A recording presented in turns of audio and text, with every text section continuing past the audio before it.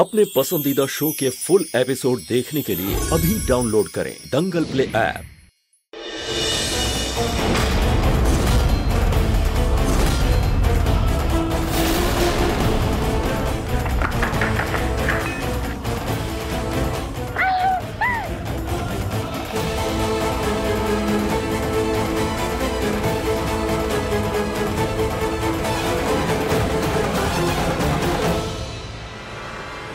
शोर कैसा?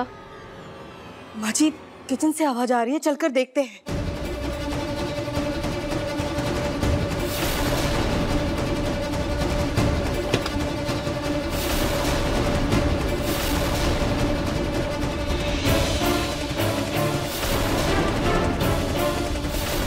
ये रूही को क्या हो गया है? ऐसे क्यों पानी पी रही हो भी? इतनी ठंड में। रूही ये पानी अपनी प्यास बुझाने के लिए नहीं पी रही।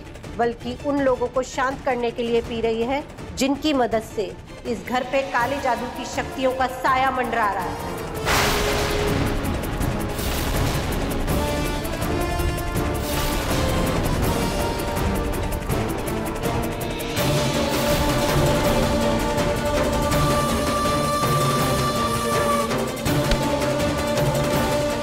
क्या बकवास लगा रखा है? बकवास नहीं नार खुद ही देखो ना। रूही रूही रूही क्या कर रही हो तुम रूही रूही रूही क्या कर रही हो तुम? क्या हो क्या हुआ रूही क्या- ए, एक सेकंड। रूही श- शांत हो शांत हो शांत हो रिलैक्स रिलैक्स रिलैक्स कोई बात नहीं कोई बात नहीं रिलैक्स ऐसे क्यों पानी पी रही हो? क्या हुआ? मुझे मुझे बताओ। क्या हुआ रूही क्या हुआ? ना ना जी ना जी पता नहीं क्या हो गया। बहुत बहुत गर्मी लग रही थी। बहुत बेचैनी महसूस हो रही थी। जैसे जैसे किसी ने हीटर चला दिया लेकिन लेकिन जैसे आपने खींचा, मुझे मुझे बे- बेहतर महसूस हो रहा है। कोई बात नहीं। बीपी बढ़ गया होगा। तुम तुम कमरे में चलो। चलो चलो कोई बात नहीं। शांत शांत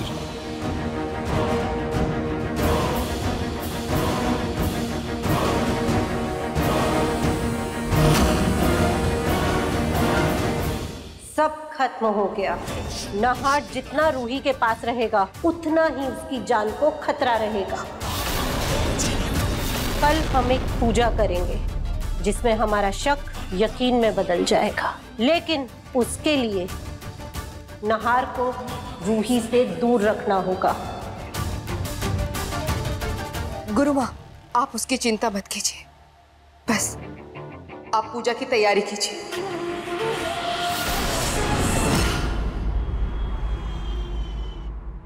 दादी। दादी, आपका कुछ पार्सल आया है। पार्सल? किस चीज़ का? क्या आया है इस पार्सल आ, चल के देखते। पार्सल आया पता नहीं क्या है।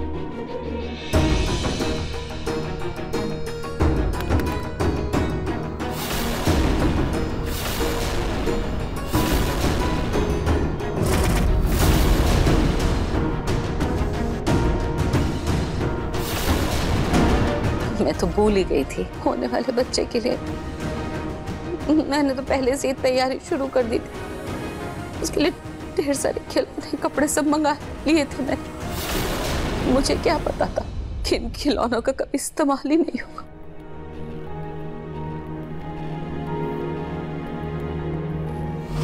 अब पिंकू जी ये लीजिए आपका लंच पलक मुझे तुम्हारी शक्ल नहीं देखनी। और ना ही तुम्हारे हाथों का खाना खाना है। और ना ही तुम्हारे साथ रहना है।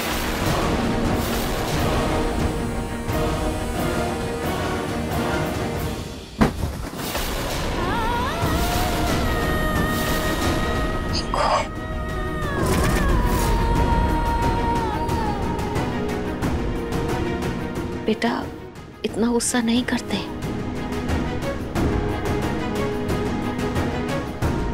अलग तुमने हम सबसे इतना बड़ा झूठ बोलकर हम सब के दिल को बहुत ठेस पहुंचाई है। जो दर्द हमें दिया है, उससे उभरने में मैं थोड़ा वक्त लगेगा। काम करो। तब तक के लिए तुम कुछ दिनों के लिए अपने मायके चले जाओ।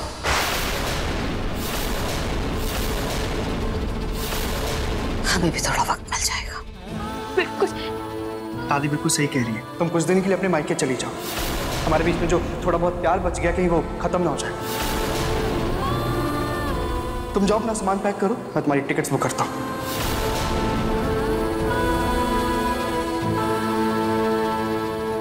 पिंकू बेटा कुछ खा लेना।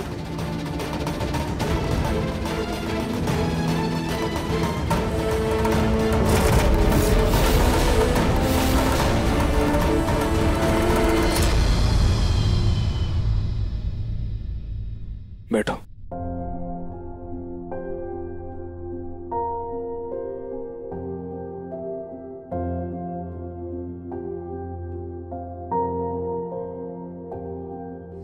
लो ग्लूकोज पानी पी लो तुम्हें बेटर फील होगा। हम्म। आराम से।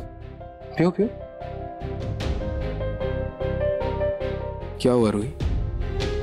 क्या सोच रही हो तुम? नाहर जी कहीं जो कुछ भी हो रहा है सच में उसकी वजह मैं तो नहीं हूँ ना। रूही प्लीज़ घर वालों की बात सुनकर खुद को दोष देना बंद करो प्लीज़ ऐसा कुछ भी नहीं है। और वो क्या गुरु माँ? उनकी बात का असर तो बिल्कुल होने मत देना खुद पर। ये पियो तुम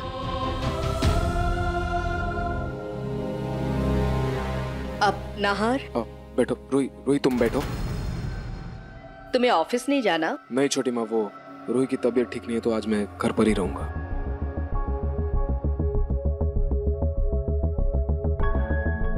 पर नाहर तुम कह रहे थे ना कल फैक्ट्री में कोई दिक्कत हो गई थी? तो जाकर एक बार देख कर आओ। दादी उसकी कोई ज़रूरत नहीं है। मेरी फ़ोन पर बात हो गई है। सब नॉर्मल है सब ठीक है। फिर भी बेटा अगर रूही की तबीयत खराब है तो रूही के देखभाल के लिए हम सब है ना?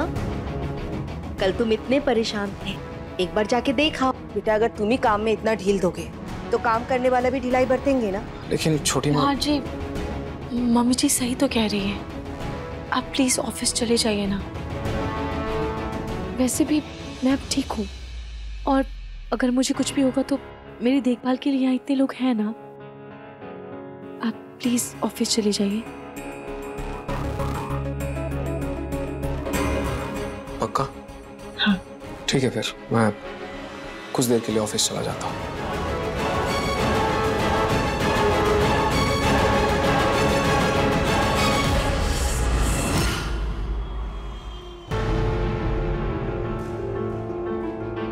प्लीज़ अपना ख्याल रखना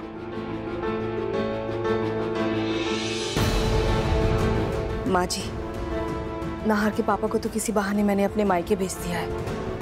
बस अब नाहर भी चला जाए।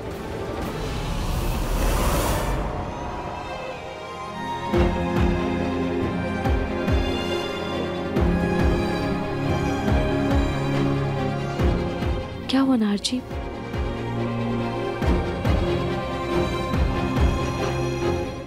पता नहीं रोहित कुछ अजीब सा लग रहा है। जाने का मन नहीं कर रहा। तुम तुम पक्का ठीक हो ना? नाहर जी मैं बिल्कुल ठीक हूँ। मुझे कुछ नहीं हुआ है। आप बिल्कुल फ़िक्र मत कीजिए। आप बेफिक्र होकर जाइए।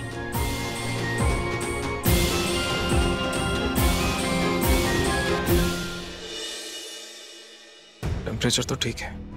तुम्हारा फ़ोन फ़ोन कहाँ है तुम्हारा? फ़ोन अब नाहर जी शायद ऊपर कमरे में फ़ोन रह गया होगा। रूही फ़ोन ऊपर कमरे में क्या कर रहा है? फ़ोन अपने पास रखो। मैं हर घंटे फ़ोन करूँगा रिसीव करना। ठीक है नाहर जी। मैं फ़ोन अपने पास ही रखूँगी। और प्लीज़ प्लीज़ अपना ध्यान रखना। ठीक है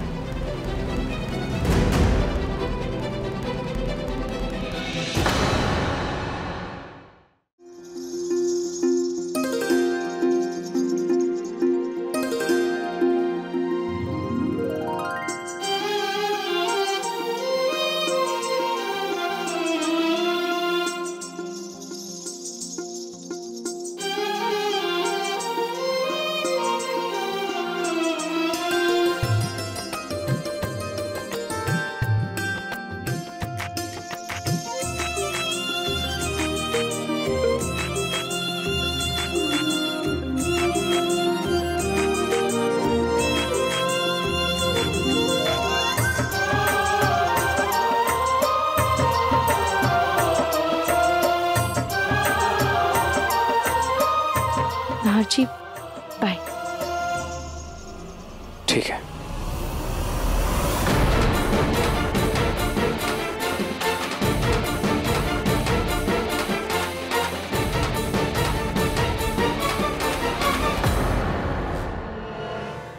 अब देखिए। मन सुंदर दंगल प्ले पर टीवी से पहले।